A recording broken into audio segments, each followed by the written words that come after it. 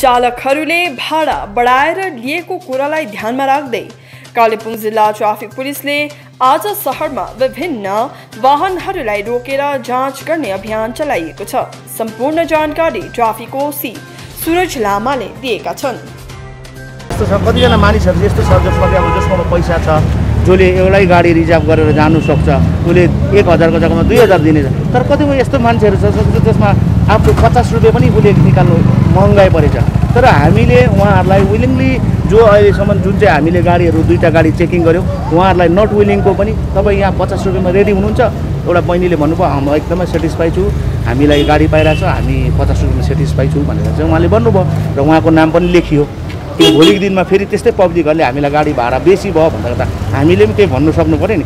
अर्को उयोले भने हामी मजबुरी छौँ। होइन हिजो अस्ति तिस रुपियाँमा जान्थ्यो अहिले चालिस गरेको छ फेरि एकैचोटि पचास गरेको यसमा चाहिँ म सेटिस्फाई छुइनँ भनेर चाहिँ त्यो ड्राइभरको लाइसेन्स लिएर मैले अफिसमा उहाँलाई कागजपत्र विथ कागजपत्र सेन्डिकेटको जो मान्छेले भाडा बढाउनु भनेछ उसलाई बोलाएर लिएर आउनु भनेर उसको एकाजमा नि फर्स्टमा चाहिँ वार्निङ एउटा सानो एउटा केस गरिन्छ। त्यसको पश्चात पनि उहाँले त्यस्तो कार्य गऱ्यो भने अझै सेक्सनहरू कानुनी अझ सेक्सनहरू पर्दै जान्छ। अब दुई तिन दिन अगाडि पनि देख्नुभयो तपाईँहरूले अब बढ्दो जुन चाहिँ अहिले कोभिड नाइन्टिनको नै मानि मानिसहरू अब भाडा एकदमै बेसी लिन्छ लिँदैछ हामीलाई। पचासको जग्गामा एक सौ लिँदैछ होइन? र त्यही अभियान सुनेर चाहिँ हाम्रोमा अस्ति पेपरमा पनि आउट भएको छ र डिएसपी म्याडम हाम्रो एसपी साहेबले पनि योलाई चाहिँ के हो भनेर चाहिँ आज हामीले चाहिँ स्पेसली मान्छेहरूलाई खुद सोध्दैछौँ कि तपाईँहरूलाई के असुविधा छ तपाईँलाई भाडा कतिजना भाडा बेसी लिँदैछन् त्यो गाडीहरूको एगेजमा केस गर्नुको लागि चाहिँ हामी आज कालेबुङ ट्राफिक प्रशासनिक गाइडलाइनमा चाहिँ के छ भने नि पहिला चाहिँ अब जुन चाहिँ कोभिड नाइन्टिनमा जुन चाहिँ गाडीहरूको सोसियल डिस्टेन्स दसजनाको जग्गामा पाँचजना बोक्नुपर्छ सोसियल डिस्टेन्स राख्नु भनेर जुन चाहिँ एउटा फर्स्ट फर्स्टमा जुन चाहिँ एउटा प्यानिक जुन चाहिँ डरलाग्दो अब एकदमै उयो भएको थियो त्यति बेला चाहिँ हाफ थियो। तर अहिले अब जुन चाहिँ लकडाउन खोल्यो अनलक भयो त्यसको बादमा प्रशासन पक्षबाट चाहिँ आरसी बुकमा कति सिट क्यापेसिटी छ? टेन प्लस वान छ भने त्यति बोक्नु पाउँछ तर भाडा बढाउनु पाउँदैन। थ्री प्लस वान छ भने थ्री प्लस वानै बोक्नु पऱ्यो तर त्यसमा उयो गर्नु भएन।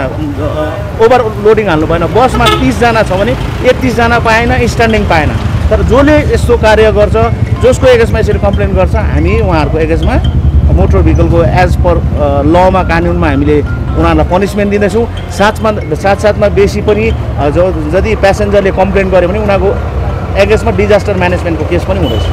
र त्यो अभियानलाई चाहिँ आज दिनको हामीले अलिकति सतर्क साथ जसमा मान्छेलाई पनि असुविधा नहोस् जनसाधारणलाई पनि असुविधा नहोस् है?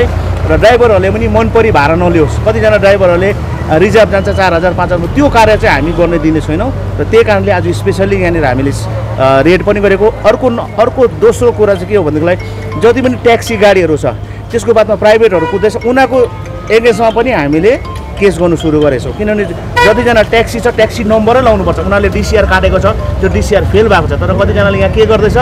डिसिआर काट्छ पुलिसले पर्छ अनि त्यो डिसिआर देखाएको देखाइ गर्छ अब चाहिँ त्यो हुँदैन। Taxi taxi. ट्याक्सी जब खेप्छ उसले ट्याक्सी नम्बर लगाएको हुन्छ हुनुपर्छ। किनभने यहाँ सबैजनाले एउटा ट्याक्सी नम्बर लगाएको छ।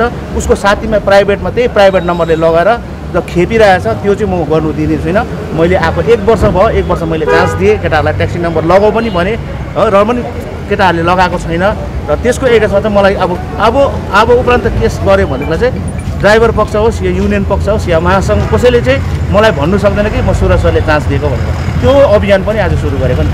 हामीले केही भन्छ अघि